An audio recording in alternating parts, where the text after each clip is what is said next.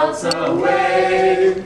Down to the village with the broomstick in his hand. Running here and there all around the square saying catch me if you can. He led them down the streets of town right to the traffic cop. And he only paused a moment when he heard him holler, Stop! Frosty the snowman hurry on his way. But he waved goodbye saying, Don't you cry, I'll be back again someday. Thumpity thump thump thumpity thump thump, look at Frosty go.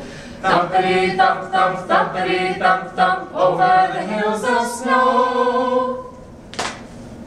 Yay! Poor Kurt, he falls. Just let the guy with the